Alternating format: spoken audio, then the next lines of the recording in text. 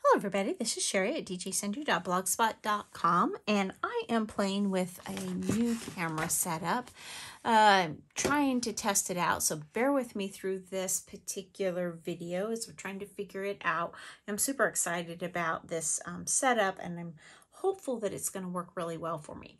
But I also needed to make a card. Now, I already made a card um, and I used this image. I went into my background stash and I found this image that I had had out of alcohol ink. So we've got some oranges and some blues. I would imagine there's some blue denim in there or some denim.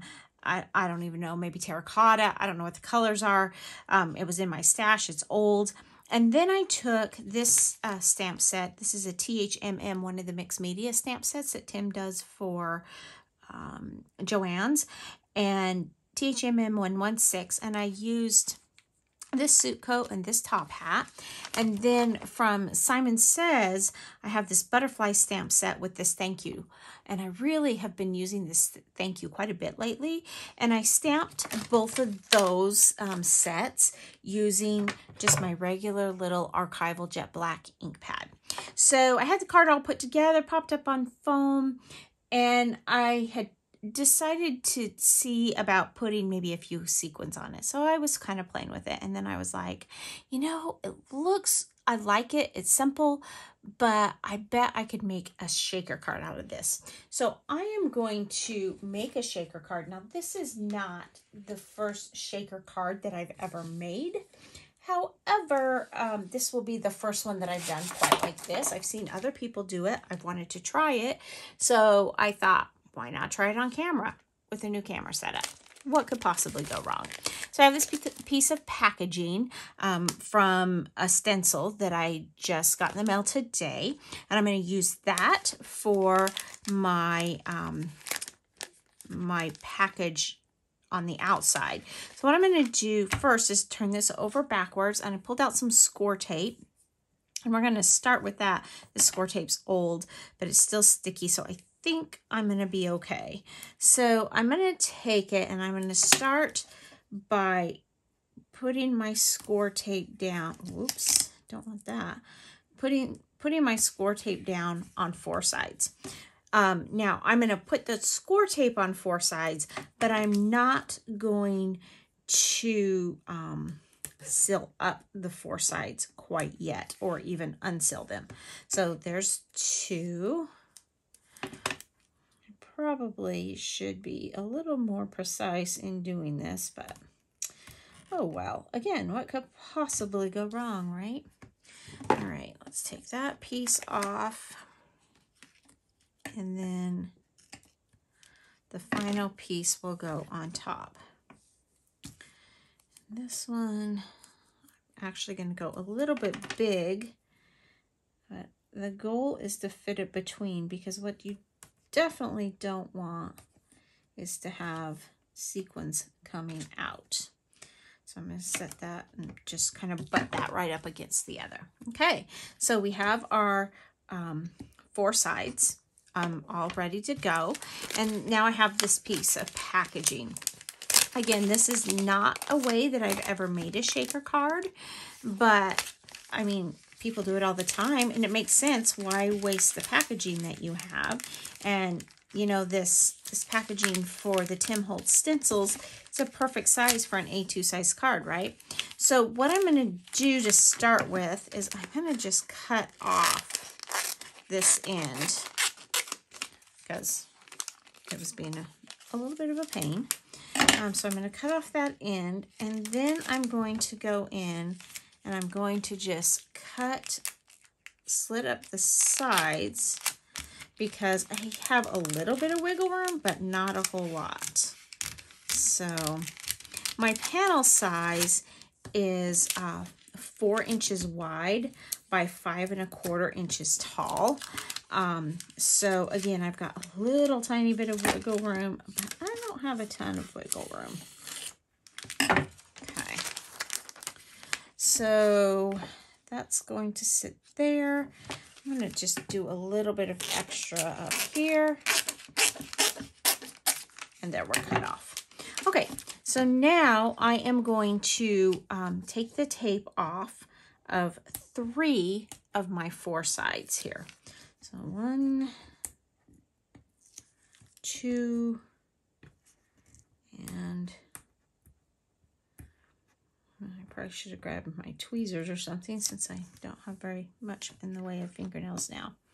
And I'm just going to set my panel on this, leaving edge around it. And then I'm going to fold up and over my score tape. I do have a, a roll of the red line tape and I actually was planning to use that, um, but I didn't, it was, it's the narrower one, and I just wasn't sure that was going to give me enough tape. Okay, so I've taped up the two sides. Now I'm going to take my bone folder, and I'm just going to kind of burnish that down. Now there's two reasons for that. First of all, I want to burnish it into the tape really well. But the other reason is, is I want to get a crease on that plastic because it, it wasn't designed to fold there. So now before I cut, um, or before I punch up the bottom section, I personally think I just need to go in and kind of make a slit here so that I can get a better fold as I come around the corner. And I'm going to do that on all four corners. Oops, sorry, didn't mean to get off camera. I'm going to do that on all four corners because I want to be able to get a good fold, but I don't want holes in the corner, if that makes sense. So I just cut a little slit. Now I'll come up and fold those over the top. Again, I'm going to grab my bone folder. I'm going to burnish that down. And I do have these little tails I'm a, because I want to make sure that I've got, I think my corners are really good. So I'm going to feel okay about just going ahead and clipping that one off. I hope that's not a mistake. I mean, it's just a card. It's just paper, right? Just paper. All right, make sure it's all flat. So when I pop that over, you can see that glare coming in there. And now I am ready to add my sequins. So I have these sequins, and I can't even remember where I got them. But I thought that this was kind of a fun color. Um, this kind of goldy, orangey color. And then I have some white ones here. I didn't really like the thought of adding the blue that I had um, in there. So I didn't pull those. But I think rather than try to dump them in, what I'm going to do is I'm going to grab one of my little triangles here and mix them in that way, I think I will have a little bit better success and be a little bit less likely to dump them all over myself. I'm going to go with probably fewer rather than more to start with, although that seems like a lot, so I may have done too many. But I want to be able to make sure I've got plenty to have a good shake. But yeah, I've got, that's more than enough. I probably didn't need that many. So got a good shake in there. Um, just a couple more sequins in there. We'll put that over. Okay, so now we're ready to do our last section. So I'm going to undo the tape here.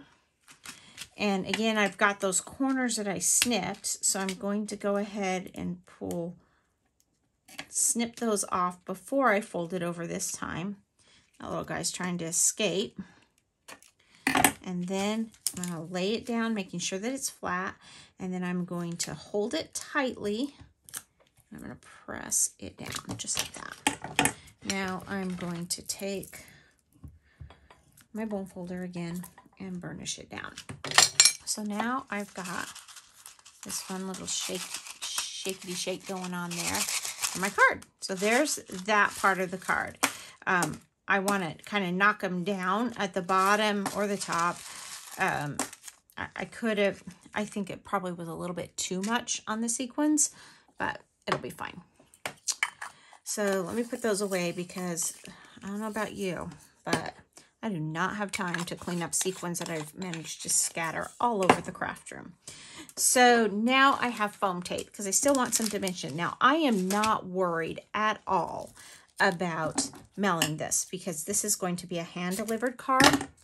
So I'm not worried about the increased bulk that I'll have from the foam tape. There's already plenty of bulk in there from the sequins.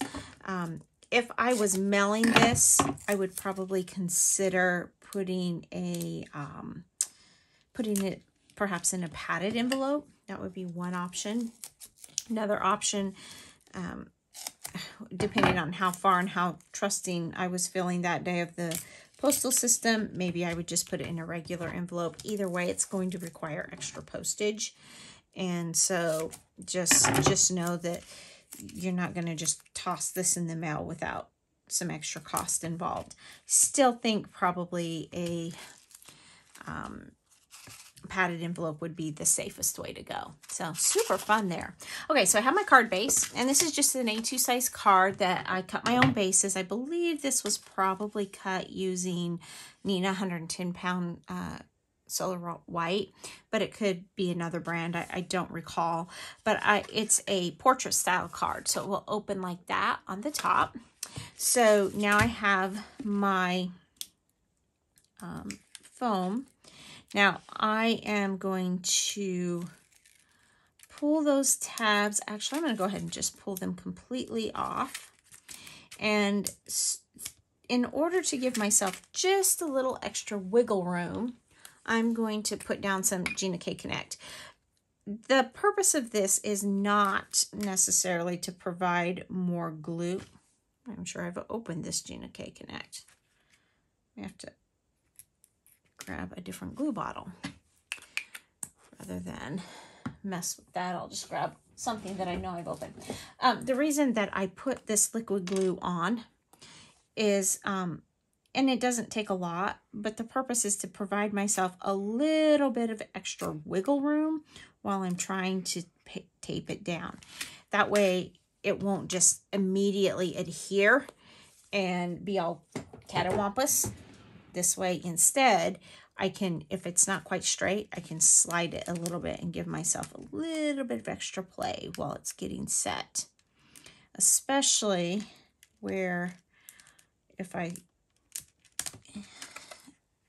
if I put my head directly over it, I'm going to get my head in the camera. So that seems to be pretty straight. So I will go ahead and shake that or uh, press that down. And then we've got a little bit shaky shake. So there's my card. Not bad, simple.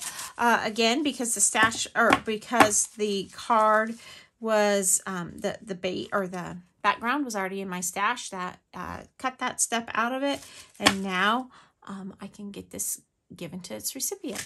So thanks so much for stopping by today. And remember, take some time to enjoy the little things. Have a great day.